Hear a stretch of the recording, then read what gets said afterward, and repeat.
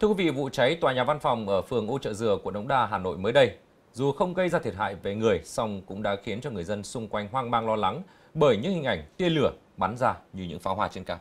Vâng, à, dù chưa có kết luận cuối cùng, song à, nhiều khả năng nguyên nhân gây cháy là do chập điện một biển quảng cáo điện tử, thứ vốn được sử dụng rất phổ biến ở các cửa hàng, cửa hiệu, tòa nhà hiện nay. Vụ việc này còn có thể xem là một hồi chuông cảnh báo về những hiểm họa cháy nổ từ trên cao, nhất là thời điểm Hà Nội đang chuẩn bị bước vào mùa nắng nóng. Không khó để chúng ta bắt gặp những tấm biển quảng cáo, đèn LED lớn tràn ngập trên các con đường, tuyến phố, nằm lơ lửng trên các mái nhà.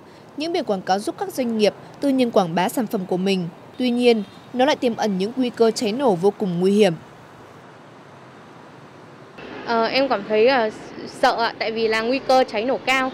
Tại vì thứ nhất là biển quảng cáo ấy, nó là chất liệu dễ cháy và nó dễ dễ lan ấy. Nên là uh, nếu như mà nó gặp một cái vấn đề về trục trặc kỹ thuật gì đấy thì nó sẽ dần đến cháy nổ và lan rộng ạ.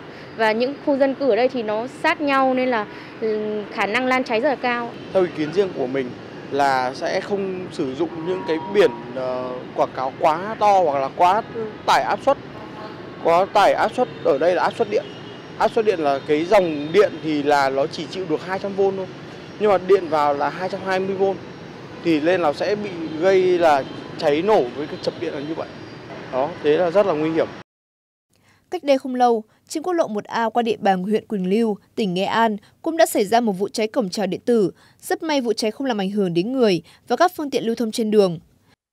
Anh Nguyễn Xuân Sơn làm biển quảng cáo cho biết, sở dĩ biển quảng cáo làm chuẩn rất an toàn, không thể xảy ra sự cố cháy. Kỹ thuật mà mình bên mình đưa ra thì sẽ không bao giờ nó sẽ có hiện tượng cháy nổ được trăm phần trăm phần trăm bởi vì là khi lắp đặt mình sẽ có rất là nhiều biện pháp an toàn đảm bảo ví dụ như là lắp automat uh, những cái bộ uh, những cái cái linh kiện bảo vệ như là chống dò dỉ điện chống giật hoặc là quá tải điện là phần biển quảng cáo sẽ tự ngắt hết chứ không thể nào mà để cháy nổ được Mỗi một biển quảng cáo giá dao động từ vài trăm nghìn đến cả trăm triệu đồng tùy vào chất liệu, kích thước và nhu cầu của khách hàng. Tuy nhiên, để đảm bảo an toàn thì việc chọn một địa điểm uy tín để làm biển quảng cáo rất quan trọng. Biển biển hiệu của chúng tôi thì đa số sẽ là biển alu, chữ nổi mica và bên trong có hệ thống đèn led điện 12V rất là an toàn. Thì trước đó thì sẽ qua 12V thì bọn biển quảng cáo thì sẽ có bộ đổi nguồn à, qua từ 220 cho đến 12V thì đa số đèn led bây giờ hiện tại trên thị trường thì đa số sẽ dùng từ 5V đến 24V là chính. Theo chia sẻ của cảnh sát phòng cháy chữa cháy Hà Nội, rất nhiều các vụ cháy nổ đã xảy ra trên địa bàn thủ đô được xác định là do chập điện.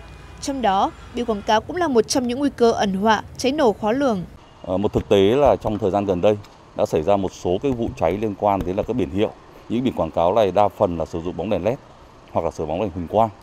Và cái nguy cơ dẫn đến cháy nổ thì có thể có một vài nguy cơ như sau.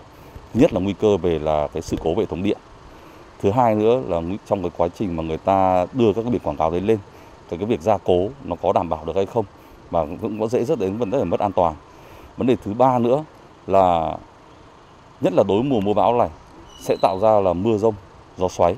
Thì đối biển quảng cáo trên cao sẽ có nhiều cái việc mà nó xảy ra là tai nạn đối với biển quảng cáo trên cao đó nếu không được mà gia cố một cách vững chắc. Và một cái yếu tố thứ tư đó là trong quá trình sử dụng, nếu như mà xảy ra các cái việc hỏng mà người ta gọi các cái thợ ở bên ngoài vào làm mà không kiểm tra giám sát được thì những cái thợ về liên quan đến điện, liên quan đến hàng cắt kim loại cũng rất dễ dẫn đến là cháy nổ.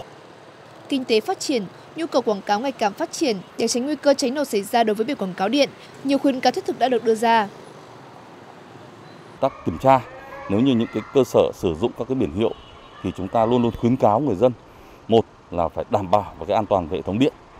Thứ hai là các cái biển này phải được gia cố rất là vững chắc là phải kiểm tra giả soát ngay đối với cả cái mùa mưa bão sắp tới thứ ba nữa là đối với những cái biển hiệu mà đã xảy ra sự cố hỏng hóc mà phải gọi thợ vào ở bên ngoài để vào sửa chữa thì luôn luôn là cử người để giám sát cái việc người ta sử dụng cái cái thiết bị điện sử dụng các cái máy máy hàn cắt kim loại là đặt nguy cơ là phải không gây ra sự cố cháy nổ tại các cái khu vực biển hiệu đó. Đắp biển quảng cáo để tăng nhận diện là quyền hợp pháp của mỗi người dân, doanh nghiệp, song quyền lợi cũng đi với trách nhiệm đảm bảo an toàn, không để xảy ra cháy nổ, gây thiệt hại về tài sản, thậm chí tính mạng cho bản thân và những người xung quanh. Thưa quý vị, thời gian gần đây thì liên tiếp xảy ra các vụ tai nạn thương tâm liên quan đến đường ngang dân sinh. Và theo Cục Đường sắt thì có tới gần 50% vụ tai nạn đường sắt có liên quan đến các lối đi tự mở tự phát. Mặc dù là qua 3 năm triển khai đề án 358 của Thủ tướng Chính phủ đã xóa được gần 2.000 lối đi tự mở, nhưng hiện vẫn còn gần 3.300 vị trí. Sau đây là ghi nhận của nhóm phóng viên Cuộc sống 24 giờ tại một đường ngang như thế ở Ngọc Hồi, Thanh Trì, Hà Nội.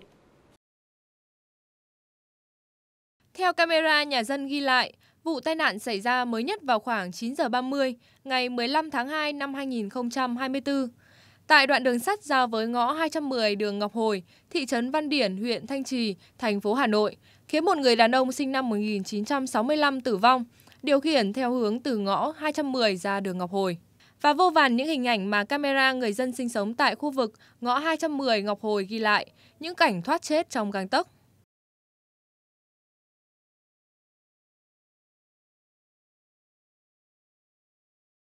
Người dân tại khu vực này cảm thấy vô cùng bất an mỗi khi di chuyển qua đường ngang dân sinh này. Chết quá nhiều. Riêng khu vực của tôi ở đây là chết quá nhiều mà tôi chỉ biết khu vực ờ, tức là tôi, tôi chỉ mới nói là từ đây xuống 1 km và lên 1 km tức là 2 km một xuống mà một lên tức là 2 km. 2 km thôi là tôi trực tiếp ra xem rất nhiều hàng chục vụ hàng chục vụ chưa chưa đầy nửa năm luôn. Yeah. người dân ở ở đây thì người ta thường thường người ta đi đâu người ta quay đầu nhìn lại nhìn trước nhìn sau. Nhưng mà sợ nhất là người ở phương khác đến ấy ở ở nơi lạ đến ấy thì à, người ta này không để ý đến, đến Bà Mai là người bán rau tại gần đường tàu đã nhiều năm nay. Đối với bà, ngoài công việc bán rau, thì bà kiêm thêm một công việc khác nữa, đó chính là cảnh báo người dân sang đường. Công việc không tên ấy đã cứu sống không biết bao nhiêu người. Thường thường thế này này, trong giờ hành chính, trong giờ ngày thế này thì là còn đỡ này. Nhưng chiều tối tối đấy, như cái vụ chứng kiến là hai con bé nó bị linh bình đấy.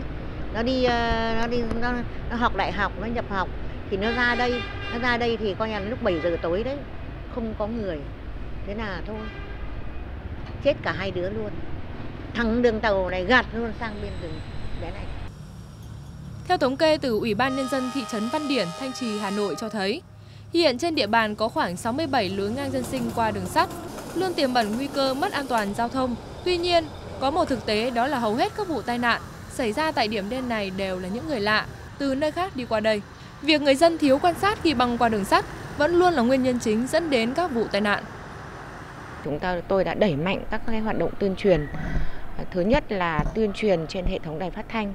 Thứ hai là tuyên truyền qua các cái hội nghị của Ừ, chi bộ của tổ dân phố rồi của các cái hội đoàn thể như là mặt trận tổ quốc hội à, đoàn thanh niên hội phụ nữ đấy thì qua các cái hoạt động đấy thì gắn với cái công tác tuyên truyền về luật an toàn giao thông cũng như là à, các cái tình huống đấy, xảy ra khi mà à, xảy ra những cái vụ tai nạn giao thông rất là thương tâm trên địa bàn. Theo thống kê của Cục Đường sắt Việt Nam, hiện nay trên các tuyến đường sắt vẫn còn tồn tại 8 điểm đen và 1.282 điểm tiềm ẩn các nguy cơ xảy ra tai nạn giao thông đường sắt. Thậm chí hầu hết các đường ngang hiện nay đều có thể là một điểm đen tai nạn nếu ý thức của người dân không thay đổi. Vì vậy, mỗi người dân hãy tự bảo vệ sự an toàn của chính mình chỉ bằng vài giây dừng xe và quan sát.